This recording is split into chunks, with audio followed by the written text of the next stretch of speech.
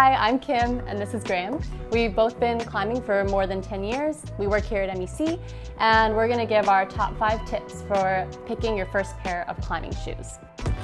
I would look at the profile first. So a flat or neutral shoe such as this, it's gonna be nice and comfortable on your feet. They're gonna sit flat. It's also gonna be a bit stiffer and more supportive so that your feet will get used to climbing. When you put your foot into the climbing shoe, it should fit like a glove.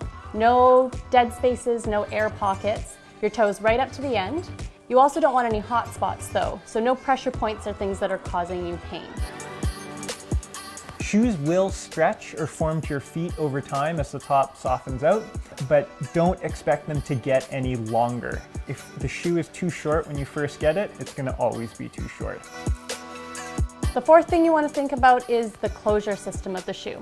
Velcro is super easy on and off, especially great in a bouldering gym.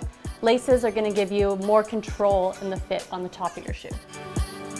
You want to be thinking about climbing, you don't want to be thinking about your foot pain. So come into our stores, try on as many shoes as you can in as many different sizes. Our helpful staff are there to help you out and get you in as many different pairs of shoes as they can. That's it.